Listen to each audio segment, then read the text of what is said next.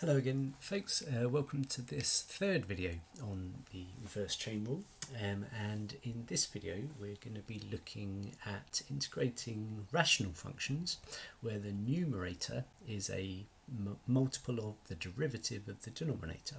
So if we had a function, a rational function with a function f of x at the bottom then we would need the derivative or some multiple of it in the numerator. Um, I'm just going to explain where this comes from, this idea, um, because it's perhaps not as obvious as the others. But you have already met uh, the, uh, the, the, fact that if y equals ln x, uh, the, if y equals the natural log of x, then dy by dx equals 1 over x. That's an idea you've seen before. Um, so we can extend that using, or sorry, first, yeah, we can say that the converse must be true. Therefore, the integral of 1 over x must be equal to ln x uh, plus the constant. Um, we can use the chain rule to differentiate slightly more complex functions. So if we had y equals ln of 3x minus 2, then when you differentiate that using the chain rule, um, you should find that you end up with 3 over 3x minus 2. Note for this derivative, it is of the form uh, f dashed of x over f of x. So f of x at the bottom is 3x minus 2. At the top, we've got the derivative of that function, which is just 3. Um, so what we can say is that if we integrate this type of function, then we're just going to get ln of the numerator, the function in the numerator, plus c.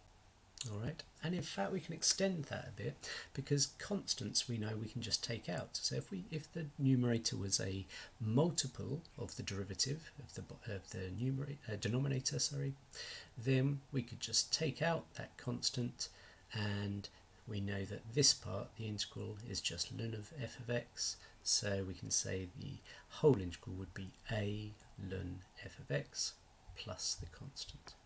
All right, so we're always looking out for these rational functions where the numerator is the derivative of the denominator or a multiple of the derivative of the denominator. Um, we're going to start off using the GDA method and then I'm actually going to show you a slightly different way that you might prefer to set these ones out but in the end uh, both methods are absolutely fine. So GDA remember guess differentiate adjust. Let's go into an, an example. So here we've got a function it's a rational function the denominator the f of x here is 1 minus x. Hopefully you're happy that if we differentiate the denominator we would get negative 1 and at the top here we've got 7 that's definitely a multiple of the denominator, sorry, uh, the derivative of the denominator. All right, so uh, for our guess, I'm just going to ignore that constant, as I always do, and just say my guess is going to be ln of the denominator. So ln of 1 minus x.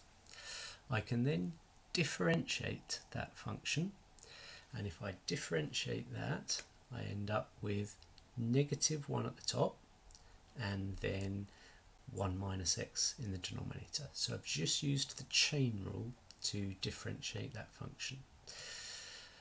Um, and I put the negative as uh, negative the whole thing, uh, but it would be fine to leave it in the top. I then look at this function, my derivative, and see what I have to do to get my original function.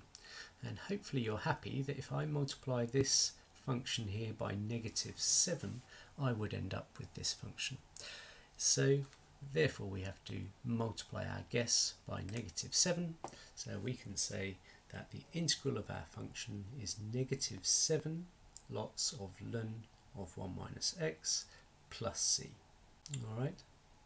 Um, we put uh, the uh, modulus symbols here. Don't worry too much about that at the moment. Uh, that will become clearer to you later on.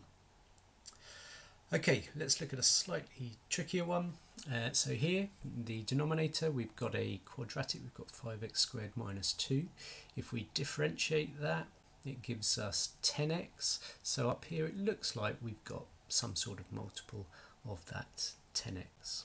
So our guess is just going to be ln of the denominator, we use the chain rule to, to differentiate that, which means the 10x is going to come out on top and then the 5x squared minus 2 at the bottom. So what do I have to do to get from my derivative to the original function?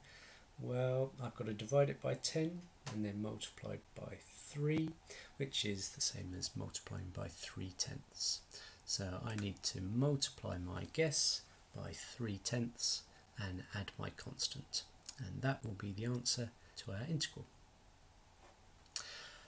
Okay, um, I just want to show you, as I said, a different way of setting it out. Um, because what I like to do with this type of uh, function using the reverse chain rule is actually just rewrite the integral so that the numerator is the exact derivative of the denominator. So here, the exact derivative of the denominator is negative 1, but at the top I've got 7. So we know that we can take constants out of uh, any integral. So if I want to write it like this, so now the numerator is the derivative of the denominator, I need to think about what constant I can put out here so that it is still equal to this function here. And hopefully you're happy that negative 7 times by the negative 1 at the top would work, so I need to put a negative 7 out the front. And now I can say, well, this integral here I know is just ln of the denominator. So we can straight away just write down negative 7 lots of ln of the denominator plus the constant. Alright, so obviously the answer exactly the same as the last method, but a slightly different way of setting it out. Um, looking at the second example down here, um, if I differentiate the denominator, I get 10x. So the first thing I want to do is rewrite it with 10x at the top, but then I need to think about what constant I need to put out here so that it's still equal to the original integral. So if you think about it, hopefully you're happy that if we put 3 tenths outside, then when I multiply these, um, it would indeed give me the 3x. So now I know that for this integral, because the numerator is the derivative of the denominator, that whole integral is just ln of the denominator um, plus c. So I can straight away just write down 3 tenths times ln of the denominator and then plus c. So it's just a slightly different way of writing it. Like I said, same answer of course, but um, both ways are absolutely fine. You've just got to decide which one works for you better. Um, so just wanted to look at a slightly less obvious one to look out for. So here we've got the integral of tan x, um, which you might not have covered before. Um, but we know that tan x can be written as sine x over cosine x. And if you see it looking like this, you might spot now that the numerator is kind of the derivative of the denominator. In fact, it's not quite the derivative of cosine x is negative sine of x. So it's not quite right, but it's not far off. What we could do is rewrite it with to make the denom sorry the numerator the exact derivative of the denominator and then out the front here we would need another negative to cancel with that one so we can say it's negative all of that this integral here is just ln of the denominator. So we can say that the integral of tan x is actually negative ln of cosine x plus a constant. All right, and that's uh, given to you in the formula book, I believe, but here is just a way of showing where that comes from.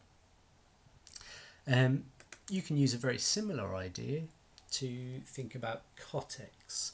Uh, cot x, if you haven't met that before, is the same as 1 over tan x. So 1 over tan x is equivalent to cosine x over sine x. So just pause the video, see if you can carry on through this one, and then come back and uh, see how you've got on. Okay, so for this one, uh, straight away if you look, the numerator is the derivative of the denominator. So in fact for this one we can straight away just write down that it must be ln of the denominator, ln of sine x plus c. Uh, that's it for this type. So that's the last of the videos on the reverse chain rule. And um, we've looked at all three different types. Uh, two different ways of setting this last type out but like I said you just choose which works for you.